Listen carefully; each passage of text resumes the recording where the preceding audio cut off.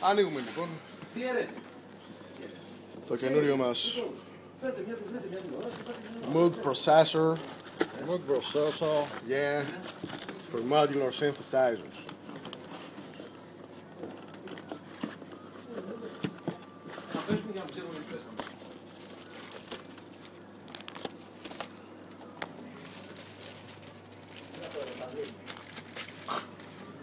So I've got sample and hold noise, an LFO, lag processor, 4 input mixer, and two attenuators. Oh, and a multiplier. Nice stuff.